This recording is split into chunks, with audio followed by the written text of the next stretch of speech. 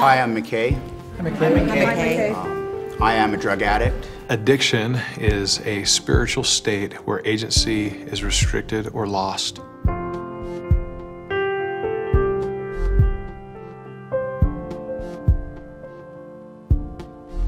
I hear many individuals come into our meetings who do not want to be there uh, for a variety of reasons. I came because somebody told me I had to. Many times they're looking down at the floor.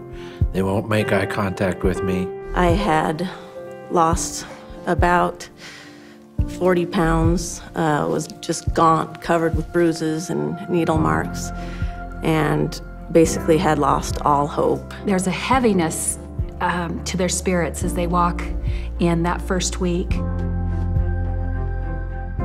I've seen opportunity for many individuals to seize the atonement, make it personal. Each second degree felony comes with um, 1 to 15 years in prison.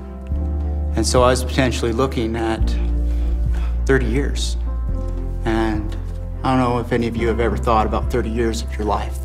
You know, s- step two is awesome. I really like how they talked about hope. Hope was something that I never had.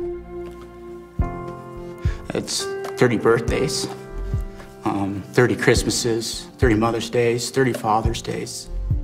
I was just tired of lying. It was a constant lie. My whole life was a lie to everybody. And God touched my heart and said, You need to let your wife know everything. Turning ourselves to the Lord, we get the opportunity personally to have the atonement work its miracle in our lives. In the scriptures, you hear about tender mercies from the Lord. When I walked into my cell, uh, there was a tender mercy sitting on the desk. And it was the Book of Mormon. Heavenly Father continued to just keep blessing me to do all the things that I was supposed to do to make me happy. I knew what it was that made me so happy when I was a kid. And it was the gospel of Jesus Christ in my life. And right then and there, I fell to my knees. And I begged Heavenly Father to forgive me. Step 12, having had a spiritual awakening as a result of the atonement of Jesus Christ, share this message with others and practice these principles in all you do. I have come to believe through this process that Christ wants to help us and he loves us. He wasn't hanging out with the people that were perfect. He was running and he was helping and serving and loving those people that needed his healing. I felt the atonement. I know that the atonement of Jesus Christ happened.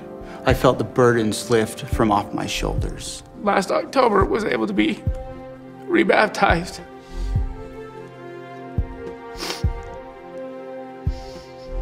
And my, my kids were able to to witness that and, and see that dad changed his life. The great hope in the program that I see so much is that through each of these steps, lives are changed. I am just truly grateful to know and believe that I am a child of God and that my Father in heaven does love me. I'm grateful for, for my Savior and for the, the blessings He's given me.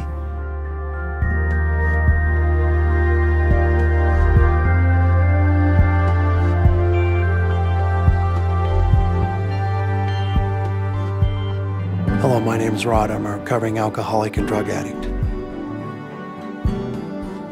I'm grateful for the atonement. I'm grateful for these steps and how they've changed my life. My name is Marty. I'm a recovering addict to pornography. I am Lisa, and I am a wife of a recovering pornography addict. I want to bear testimony that this program is necessary within our church. I know with the Spirit of the Lord and with the power of the atonement that He can make me whole. My name is Rich. I'm a recovering drug addict. I bear my testimony that recovery is possible.